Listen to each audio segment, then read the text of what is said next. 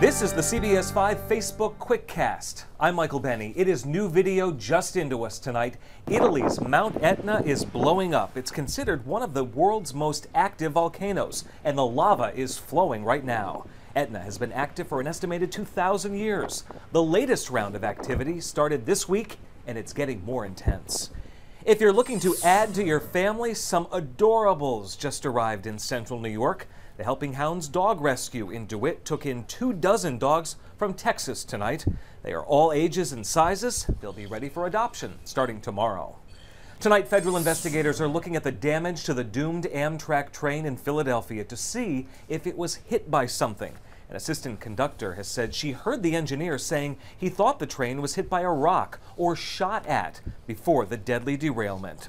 Coming up tonight on CBS 5 News at 11, we are live on the scene as police search for whoever shot a man near a Syracuse elementary school. This is the CBS 5 Facebook Quickcast.